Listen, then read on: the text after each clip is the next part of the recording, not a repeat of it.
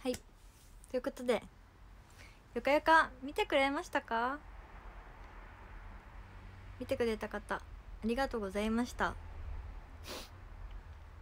ということでお風呂入りたいと思ってたからちょっとお風呂入っちゃってすっぴんなんですけどもちろんヘアはちゃんとアイロンしました。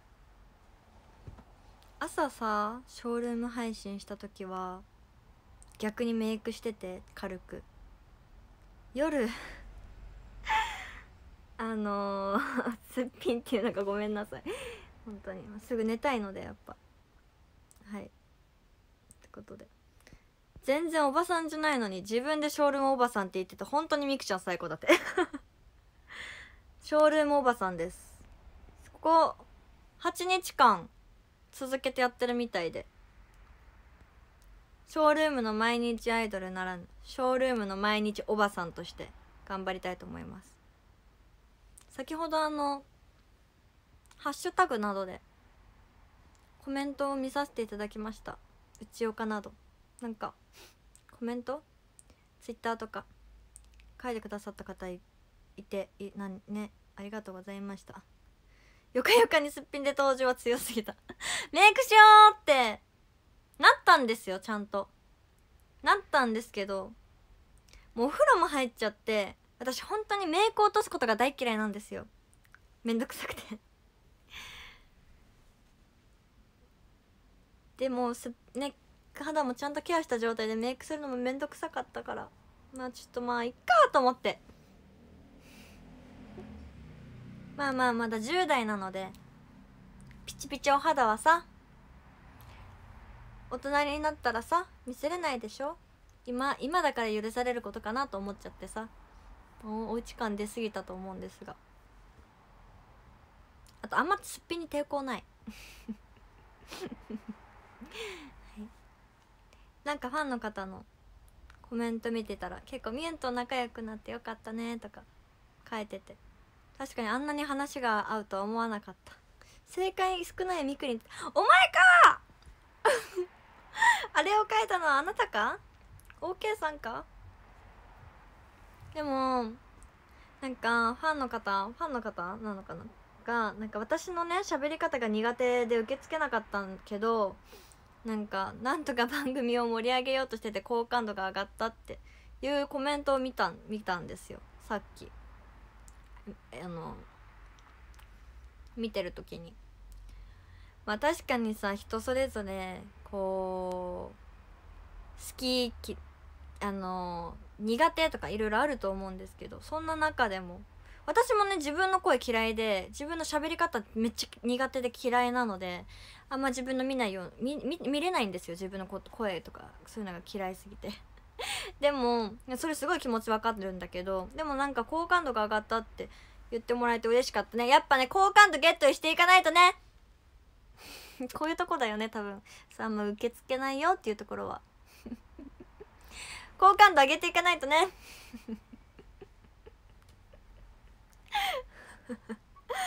いやいやでもさなんかすごい嬉しかったです。嬉しかった。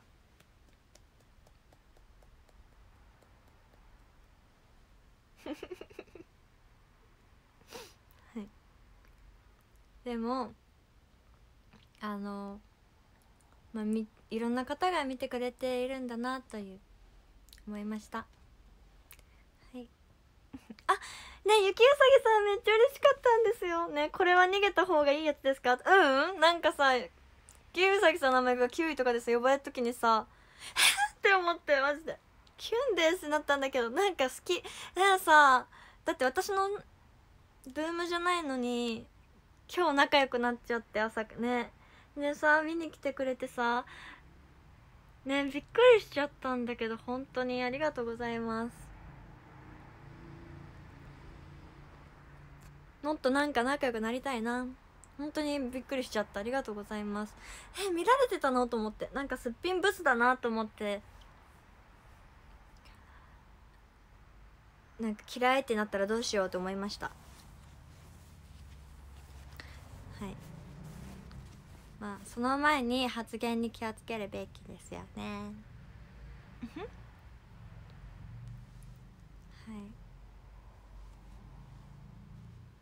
今仕事から帰ってきてお疲れ様です。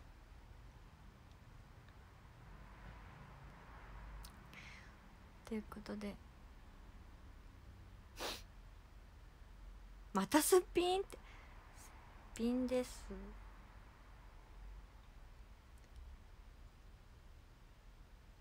ゆきうさぎさんよかよか初見マークついてましたね 嬉しいな。ありがたいことです。発言を気にしないタイプなのに「てんてんてん」って。はい。皆さんのコメント読んで面白いです。だって。出現があってのみくんです。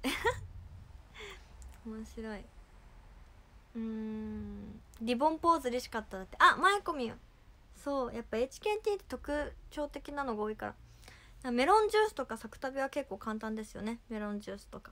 サクタベは。結構簡単。でも恋するリボンは意外だったな。みんなあれさフォローしてるの？すごい嬉しかった。なんか携帯の端末がね一つしかなくってメモってたりしてたんですけど。あのコメントねなんかななんとなくこの人がこういうこと書いてくれてるのかなとか想像つきました。びっくりしましたか？なんかそんなことない？よかよかで話してたやつ。そう私ねたったねつい何時間前にコンバットマンさん遭遇したんです。たまたま。びっくりしちゃった。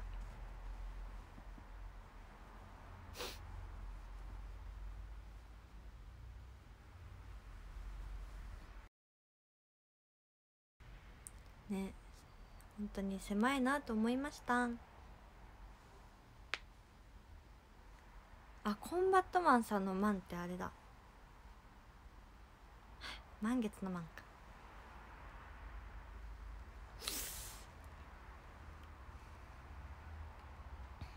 朝ショールーム見れなくてごめんなさい。え全然またやるので本当に。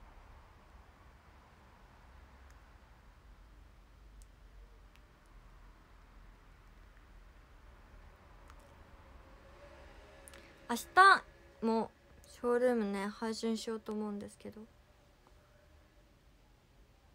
明日はじゃあ明日も朝配信しようかなって思うんだ。結構なんかね好評好評っていう言い方合ってる？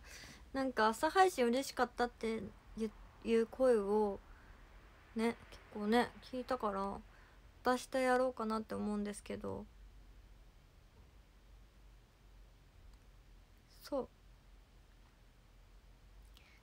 う。なので明日も同じ時間帯の方がありがたいのですかね。何時からするの？ってみんなに合わせます。割と意見が多い方向へ。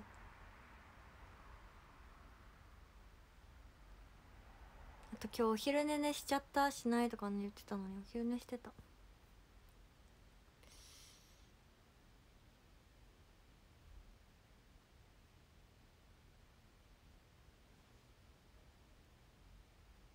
朝と夜の2回配信するってこと？夜はちょっとお仕事もあるしいろいろあったので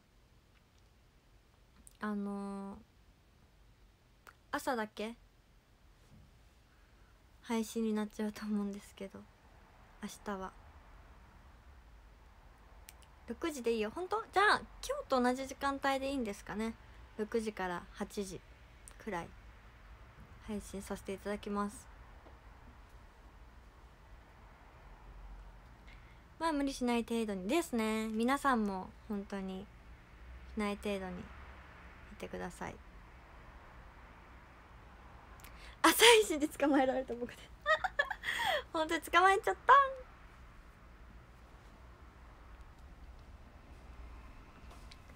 え可愛さが半端ない。だって本当？嬉しい。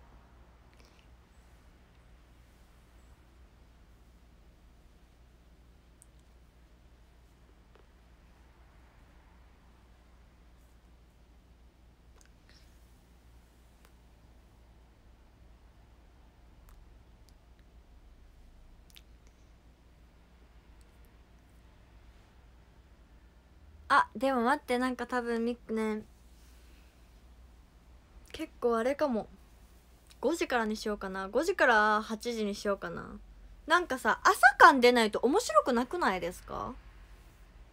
いや私はなんか朝からちゃんと可愛くなんか配信やりたいですよ。可愛いって言ってもらいたいし。でもなんかファンさん的には俺の求めてる朝配信はこんなのじゃないみたいな感じに思ってるかなとか思っちゃったりしちゃって。そう寝起き感ってことがなんかとてもファンの方は好きなのかなとか思っちゃったりして。暗くて怖いよだって。でも今日も暗かったもん。まあそれか夜少しだけするかとかなんだけど。夜は本当に忙しいから今日明日は。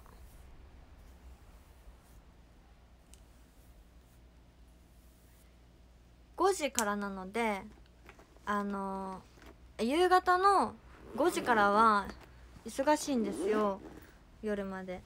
なのでお昼になら配信1時間くらいできるんだけどお昼は多分仕事中の人が多いと思うから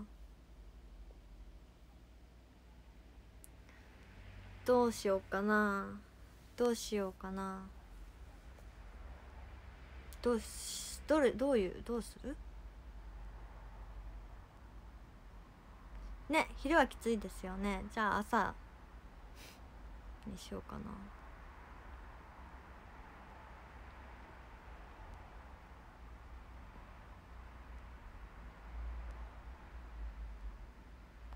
5時から8時か6時から9時どっちにしようか迷ってる。3時間？どうしようかな。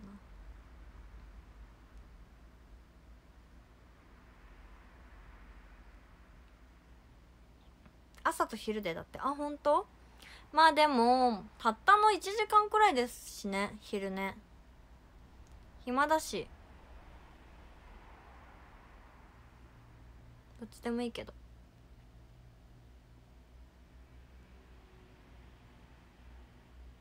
あ5時から8時でが多い。えかわいそう。そんな絶対朝早く起きれないでしょみんな。絶対そんな朝早くから起きれないと思うんじゃが。投票する？そうですね。ちょっと。ということでちょっとテロップはも消させていただきます。よかよかね見てくださった方ありがとうございました。またやりたいでちゅ。次はさうんシナモンさんとかとやってみたいな。ジーノさんとかもいいですね。後輩とやることが多くて先輩となかなかやれてないので。やってみたいな。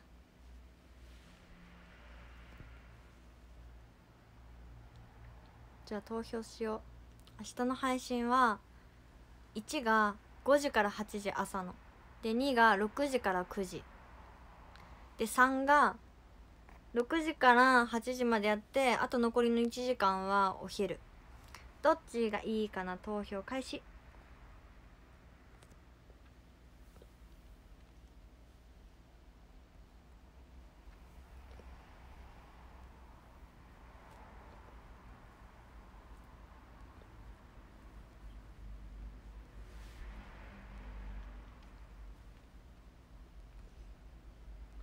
あでも結構バラバラですね。いきます。終了しますよ。54321終了。1が多い。5時から？えっとなんだっけ？8時？みんな大丈夫と？朝早く起きれる？起きれないでしょ絶対。みんな絶対眠いよ なんでそんな早くから見れるの？だってさミクは全然いいですよ。でも本当に見見見見てくれる？嘘だ。絶対に起きれないよみんな。多分大丈夫だだって。ミクのためならねだって。えミクのためとかでも絶対朝苦手な人っていっぱいいるじゃん。ええ推しのためだよ余裕余裕って。それともいつもそんなもしかして早く起きてる？仕事早いとか？あやっぱ毎朝4時に起きてるだって。それうちの寝る時間帯？そう私4時とか5時とかに寝ちゃうから生活習慣が乱れてメンタルのケアもできず乱れていくんですよね。だからちゃんと早寝早起きは大事ということで5時からじゃあ明日は5時から8時配信ということで。本当に見見る？本当に見る？本当に見る？そう夜行性みくりんから夜行性みくりんじゃなく頑張ろうとしてるんです。健康一番ということで。メンタル関係あるか？って関係あります。なんか夜結構遅くまで起きてると考えなくていいことまで考えちゃってなんか結構いろんなものを目に入れちゃってなんか勝手に自分で勝手にやって勝手に傷つくことが多いから。やっぱ早起きはなんかすっきりして得です。暇だけど。うん。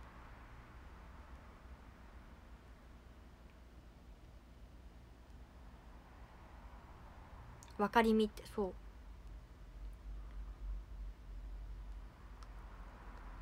じゃあじゃあ本当に見てくれる？じゃあ今さ1に投票した人は絶対に見てね。誰が投票したか分からんけど。なんかもう「おはようございます」みたいになりそう。絶対見てね。いいよ。告知しとこう。ミクもう0人だったら泣くからね。もう「えー!」って「こんな真っ暗なのに!」って「起きちゃった!」って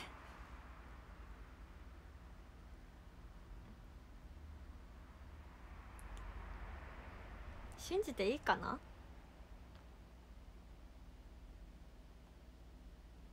うん。全然あのきつかったらでもあの本当に大丈夫なので。私はねまあその中でも見れる方とお話できれば楽しいので。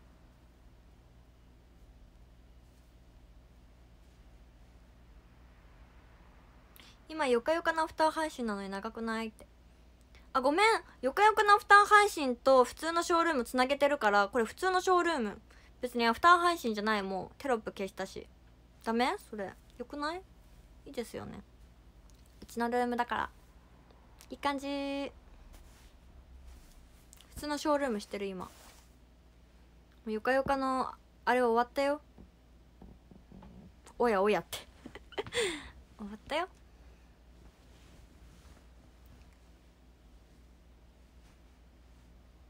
悲しいんだ私。よかよかさんねいつも現場に行ったらね。プリンとかねなんか用意してくれて今もないから悲しいな。なんもない。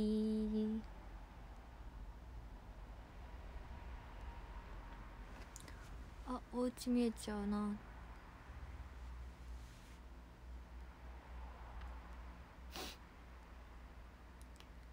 これはでもまあ8時半とかに終わります。すぐ今日は。ふわ。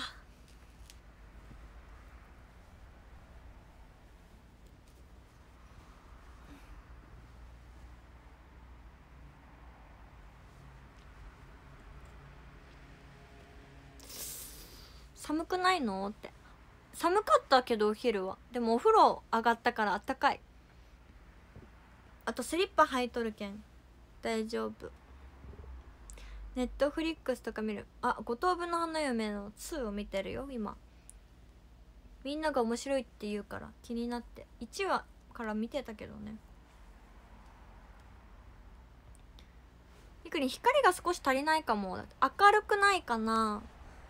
光？どうだ？眩しいな。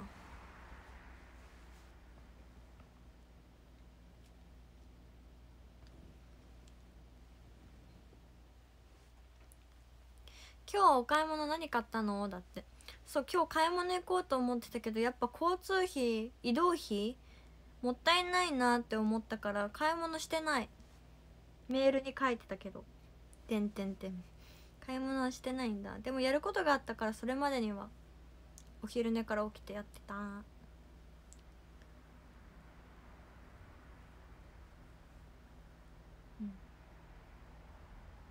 なんかさ眩しい。でしょ？背景やっぱとんでもないくら明るいよね。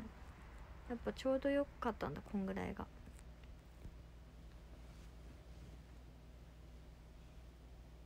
根菜の国のアリス見てます。ね面白いですよね。お昼寝してたんかい。そうティフォージーさんお昼寝してた。なんか意外と眠かった。なんか。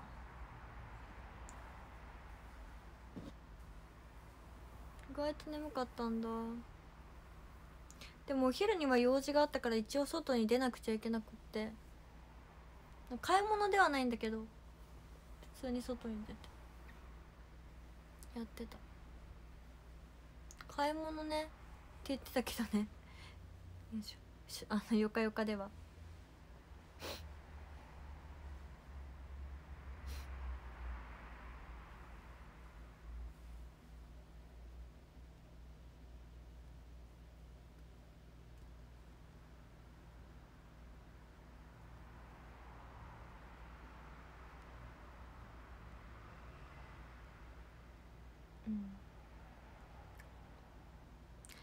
ちゃんって今の趣味？今の趣味？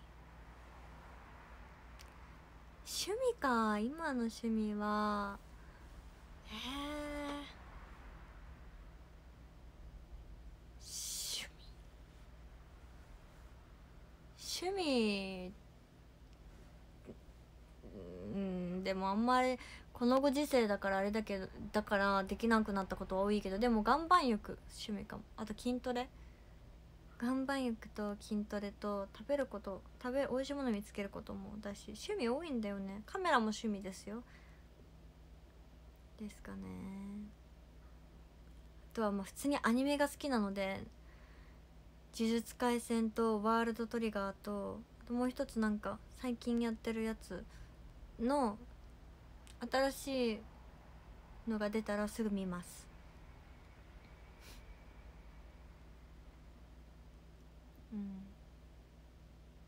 うん。ワールドトリガーってどういう感じの漫画？トリガーって分かりますか？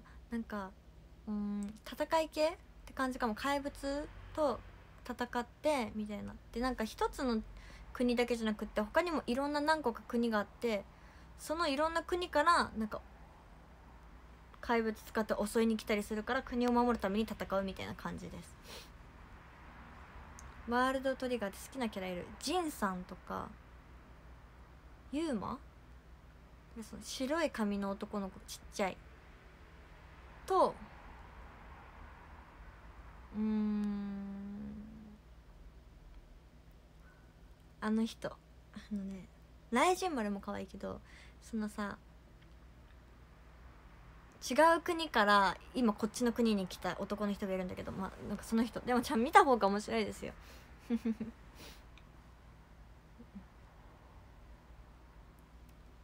アニメは声優にこだわる。声優さんねもう好きになりました。アニメ見てから。呪術廻戦なんか自分の一番好きなアニメが「バナナフィッシュ」っていうアニメなんですけどその一番好きなキャラのアッシュっていうキャラがなんか呪術廻戦見た時にこの人の声好きだなと思ってたら同じ声だったので声優さん。声声は関係あります結構。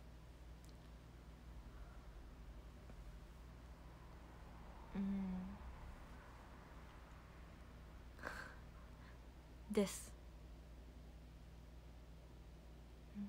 面白いですよ。メルちゃんにそれはね教えてもらったんですけどみんなもぜひ。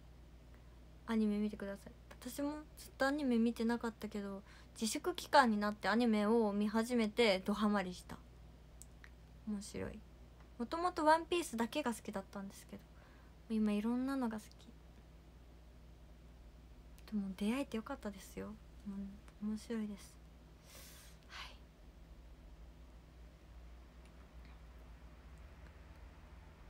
コスプレするならどんなキャラしてみたい？ねずこ。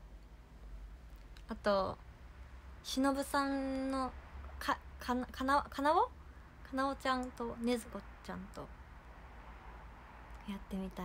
竹加えてみたい。うん。あとハンコック。なんかセクシーな感じでやってみたい。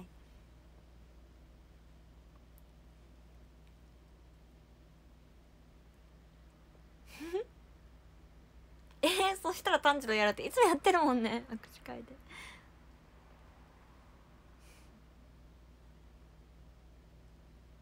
箱の中に入段ボールの中に入りますねじゃあ。あレムとかやりたい。わかる。指名浩二さん確かに。レムとかやりたいです。まああるし。レムとあと白い髪の女の子も可愛いですよね。はい。あとさ「君と夏の終わり。将来の夢」のやつ何でしたっけ？あの花の名前を君はまだ知らないみたいな。あのメンマ？だっけ？あの花のあの女の子のなんかあの髪好きです。あの花。メンマ？ややってみたいですね。ロングにして。もうちょっと今髪切っちゃったからあれなんですけど。もうちょっと髪伸びて。なんか白いやつでお花みたいなやって。あれめっちゃ泣きますよね。すごい泣きました。私もボロボロボロボロ。結構泣いちゃうタイプかも。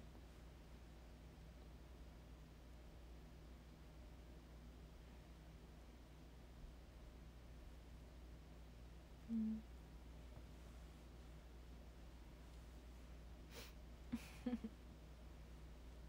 メンマってあれみたい。なんかラーメンに入ってる。泣きすぎたね。え「鬼滅の刃」の映画はねあんま泣かなかった。なんかいなんかうるっとめっちゃ超号泣で涙だとか止まらないって感じではなかった。うん。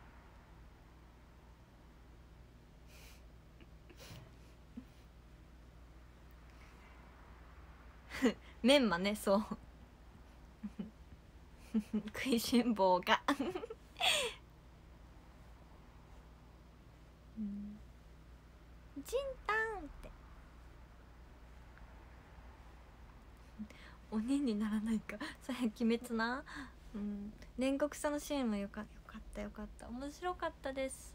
あ帽子の数すごいそう帽子の数やばいです。お洋服の数もやばいです。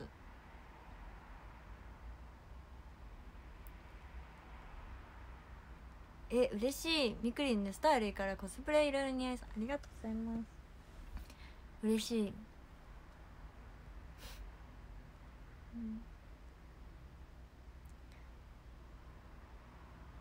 うん、嬉しいな。ありがとうございます。確かに HKT の全員分くらい帽子あるって考えたら怖い。みくに麗しいやつらのアニメは見たことない。で気になる見てみるね。面白そう。へえ童顔からセクシーまで。万能だね。いい感じ。くくなんて数えるくらいしかない。いやでもなんかいっぱいありすぎてもですよ。うんうん今帰宅してるところお疲れ様です。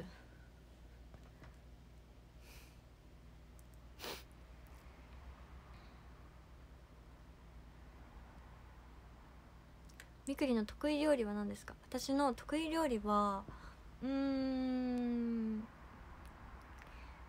え？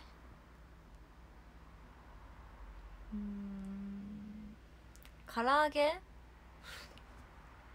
唐揚げよく作るかも。唐揚げとうん別に料理とまではいかないけどすき焼きめっちゃ美味しく作れる。あとまあカレーは美味しいって言われる。カレーは昔からやってる。なんかみんなねみくのカレー食べたいっていう。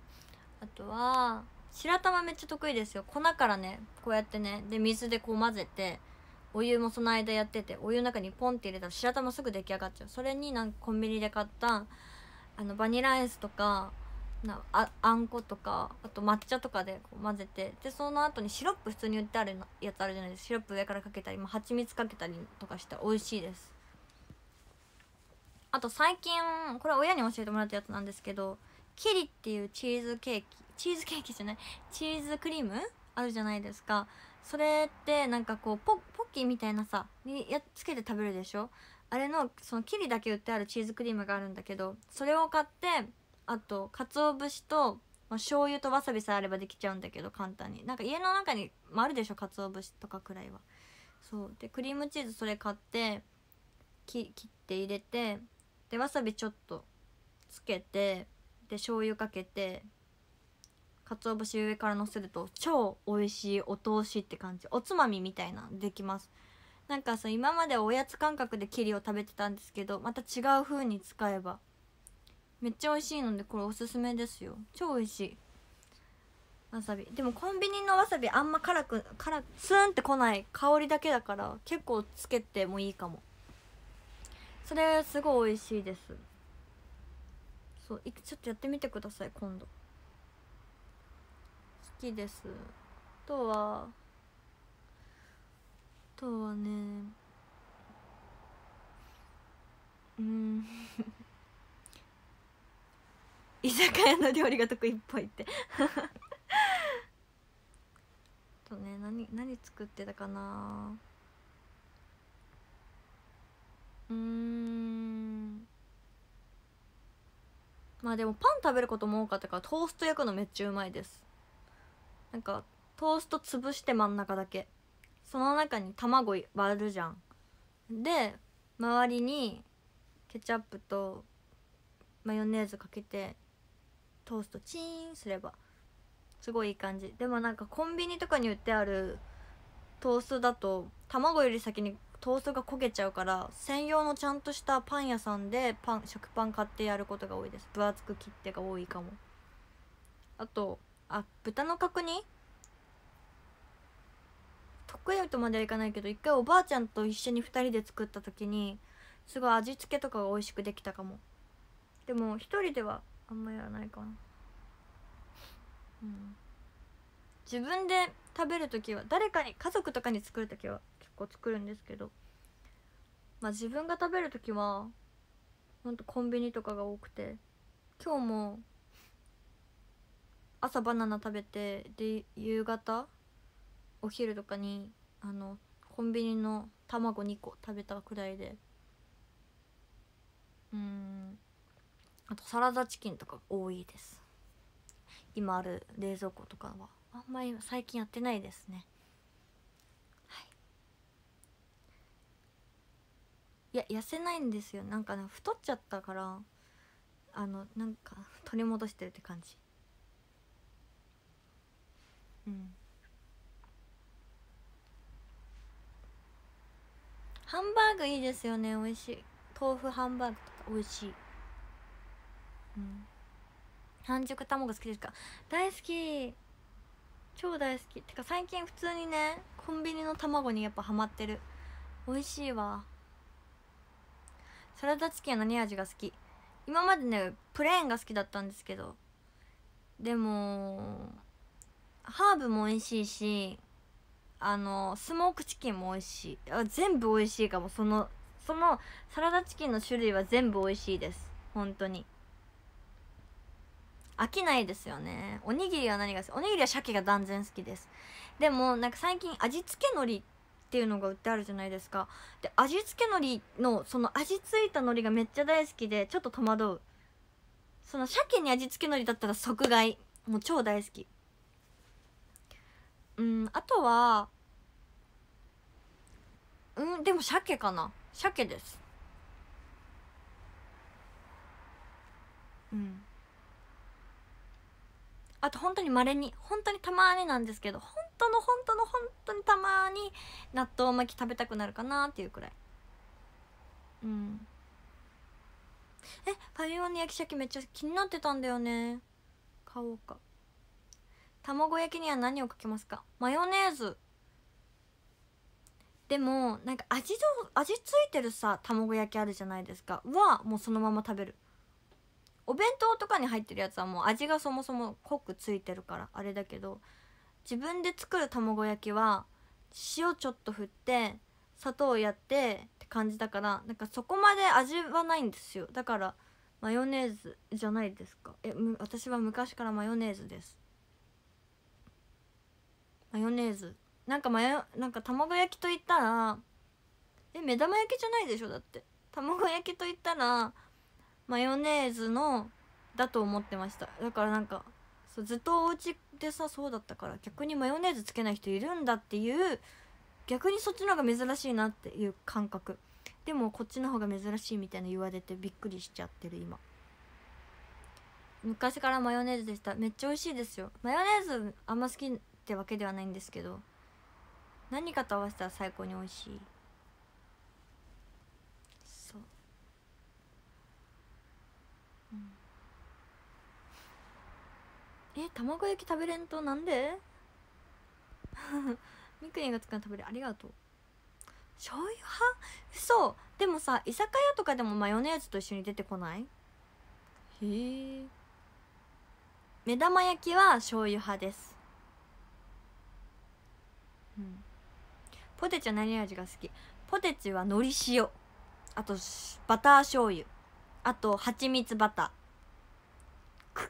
最高に美味しい。あそう明太マヨとか最高だよね。わかる。自分で贅沢なことしたことあって。なんか居酒屋とかでよくある明太チーズ、ま、卵焼きを作りたくて。もう卵に明太子入れてでチーズ入れてやったらもう超美味しくできました。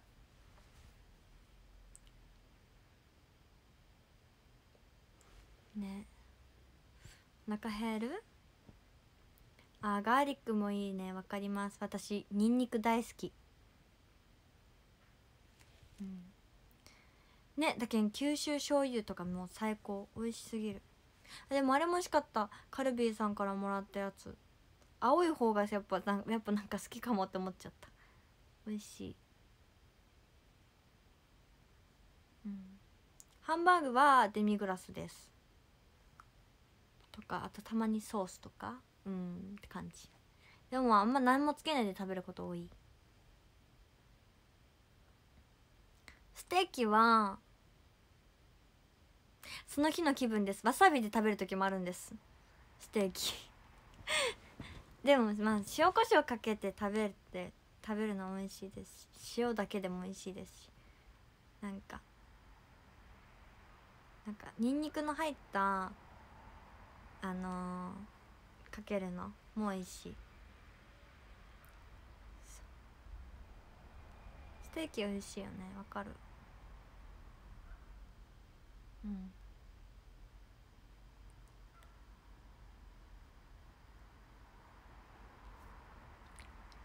わさびは通だね。わさび美味しい。わさびいいですよ。うん。わさび直接のしてそうどういうこと？どういう意味？うん。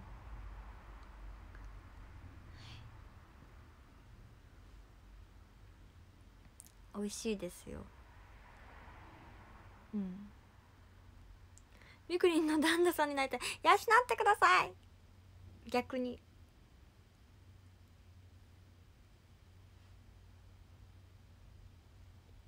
うん。柚子胡椒も美味しい。あ絶対美味しい。うんうんうんうんうん。紐でだって。ええ結婚してた。いやほんと。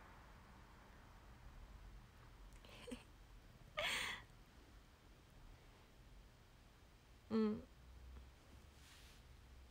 朝も夜もみくりんの配信見て常に結婚した気になってるって言ったら引くだって。引かない。引きません。安心してください。まあまあ。安心しろ安心しろ。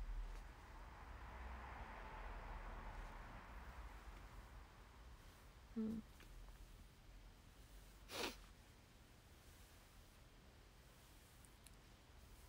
きな男性のタイプを教えてください。頑張ってる人。あとは一途な人。優しい人。うん。です。たくさんしてくれる人がいいですね、うん、あとはうん。まあでも好きな人はそうですかね。なんかミックのこと好きって言ったら好きになっちゃうかも。単純。はい。単純です。でもみんなに言ってるんだって思ったらなんかちょっとうんって感じかも。まあでも嬉しい。うんかな。でもまあなんかでも別です。結婚する条件と好きな異性はまた別です。はい。そう騙されやすいのかな。どうなんだろう。でもなんか意外とはっきりしてるからうん。自分の性格。好きなタイプはそれですね。まあでも一緒にいて楽しい人がいいな。辛い思いはさせないって感じ。みんながいい。うん。みんなみたいな人がいいです。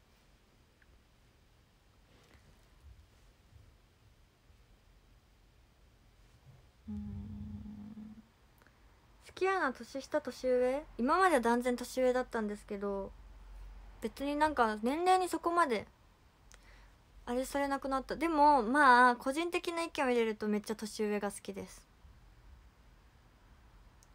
浮気する人はダメ？え好きなタイプでってことですよね。好きなタイプで浮気する人絶対好きになりません。もしなんか好きだなって思ってもなんか浮気してるっていうのを想像したら普通に冷めます。はい。でもファンの方は別です。逆に燃えます。うわどうやって一筋にするって感じですね。逆に結婚するじゃタイプで。わって。結婚するタイプは尊敬できる人がいいです。なんでかっていうとなんかまあ好きとか愛ってまあ絶対にこう冷めるというか多分来るんですよ。なんか絶対に冷めないし絶対にずっと好きっていうセリフみたいなあるセリフっていうか かとあると思うですしその時は多分そう思ってても絶対に熱したなら絶対に冷めるんですよ。火もさ燃え上がったら絶対に消えるでしょ。それと一緒で絶対に冷めるからそれなら、まあ、まず尊敬できる部分が相手にあった方がいいかなと私は思うからまあ、結婚するとしての条件はまあ私が尊敬できる人がいいなって考えです。うん。なんか嫌なことあってもまあでも尊敬できるからって。尊敬はさ変わらないから。尊敬できる人がいいです。私まあ尊敬される人でありたいです。うん相手にも。の方がいい関係が続くんじゃないかな。うん。あんまなんか好きは冷めるけど尊敬冷めることなくないですか？多分。なので尊敬できる人がいいかな。結婚だったら、私のご両親はどうやって出会った？の私の？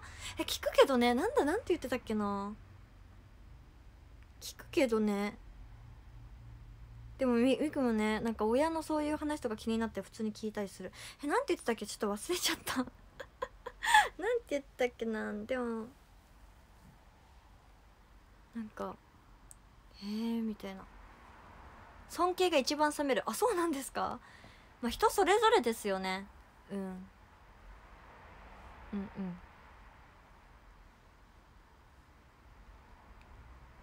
なんかね懐かしい話あって。お母さんの部屋掃除してた時になんか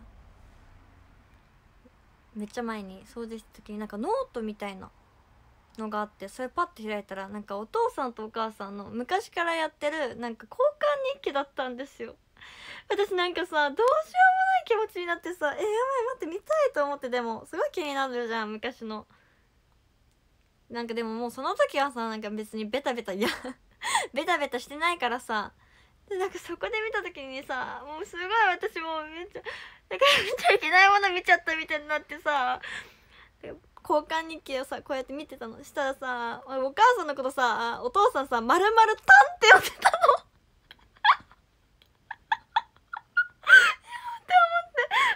って思って。なんかねその時はなんか私の知ってるなんかお母さんとお父さんはなんか本当になんか全然なんか逆にななんて言うんだそんな感じだった。あんまなんかそんならめっちゃラブラブって感じでもなかったのに。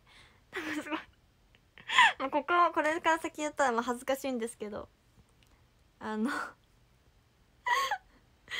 あのこんぐらいにしときます。多分もう家族はやめろって感じだと思うので。でもすごいねあのねうわーすごいなーって思いましたよなんか。見ちゃいましたね。なんかすごいなんかミクはでもほっこりしました。あこんななんかこんな感じかっていう。本当に。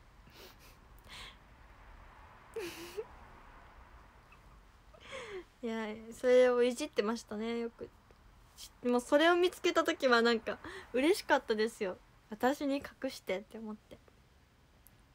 ちゃんと撮ってるのがほっこりしますよね。ねえ。本当についつい気になってね見ちゃいました。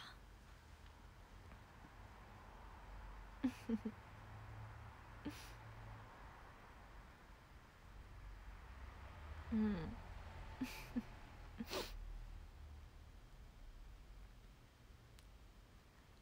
はいママはなんて呼んでたか。ママはあの「まるまるりん」って呼んでました。パパのこと。まるまるたまるまるりんって。みくりんじゃん。もうん。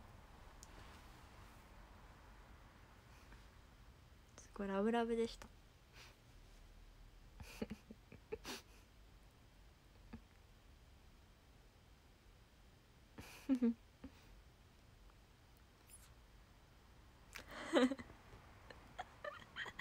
いやラブラブでした「リンとタンだと?」とかはい。でたまになんか変ななんか名前とかあったりしちゃったりして。うん、うん、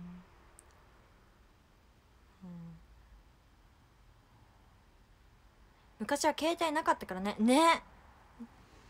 いやなんかでもその時代なんかもういいなと思います今はさすぐ写真撮ったりさまあさ便利だけど悪用されちゃったりとかすることも増えたわけじゃないですか。ってなったらやっぱ昔ねそのその時代ってねなんかポケベルとかポケベルがならなくてポケベルのねそんなすごい古い歌知ってんじゃんみたいになるけどケベルとかねなんかすごいなと思います。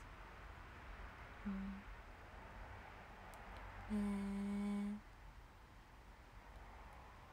すごいですよね。よう知っとるなだってそう。あのよく家族とあのみんなでカラオケ行ったりもするんです。雨の棒状とか歌えますよ。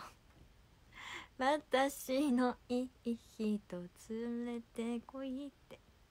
雨雨降れ降れもっと降れとか歌っちゃったりしちゃって。演歌とかも歌えますよ結構。男性さんの曲とかも歌います。タイムトラベルとかあのスピッツさんとか好きだから。あとは「優しくなりたい」とか。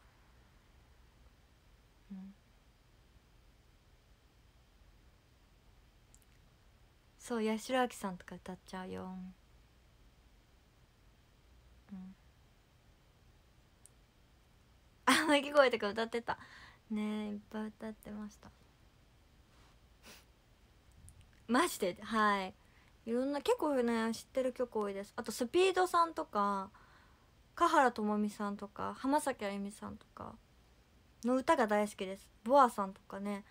結構ね私はその時代の歌をよくカラオケで歌いますよ。好きで。と最近の曲とか。うん。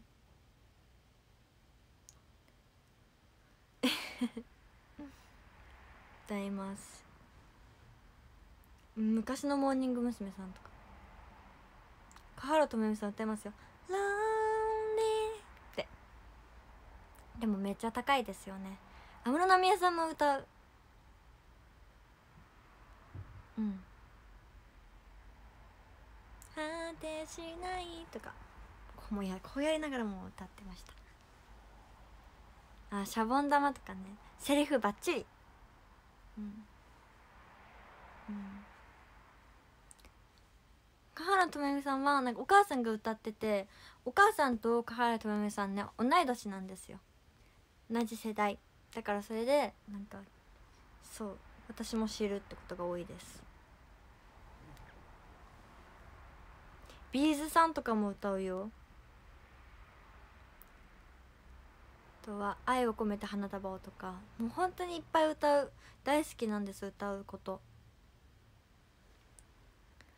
花水木ともらい泣きと。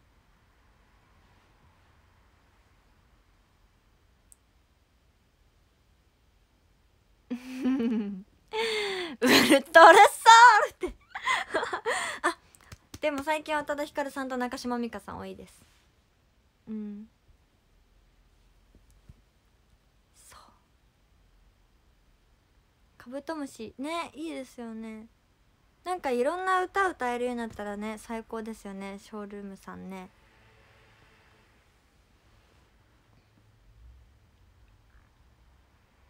愛 する人は向けて誰もちろんさせないよく知ってるね。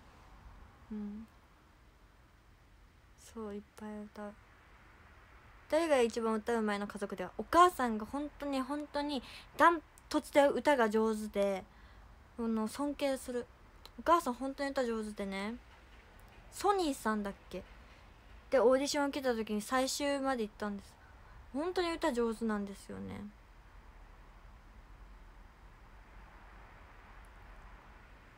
なんかだし昔はめっちゃ可愛かった。余計なんですけどでも本当にね私のあのお母さんのお友達とか今のミクよりもね昔のお母さんの方が可愛いよって感じ。本当にね可愛かったんですって。みんな言うもん。すっごいお母さんは可愛くてねすっごい歌が上手でねすっごいモテてた昔は。昔は。ねえ。本当に。まあまあハロプロ来てたのか。ハロプロじゃない。よベッキーさんとかと多分同じ事務所。うん。今はうん。てんてんてん。今はねなんだろうな。でもやっぱ可愛いので森三中の 森三中さんのあのこんぐらいの髪の人みたいな感じです。あの あのこの髪の人。でもそれ顔が可愛いです。はい。あ黒沢さんかな？黒黒沢黒沢さん？可愛いです。キュート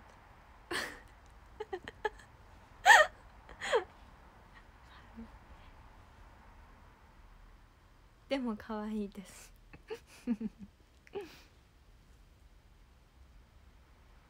はい。